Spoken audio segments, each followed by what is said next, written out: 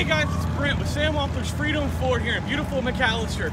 I'm not real sure what Sam wanted us to do, but he told us tomorrow that we were going to have a car wash, a wrestling car wash. I'm not real sure what that was. So what we decided was we were going to WFF Foundation That's right. car wash.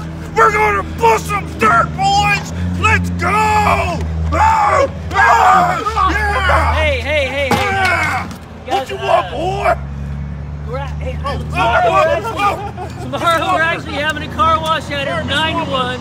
We're going to be doing it for the uh, McAlester High School wrestling team. The boys are coming out. They're going to be in their singlets. If you guys want to wear singlets, you can. The boys are going to come out in their singlets washing cars for donations.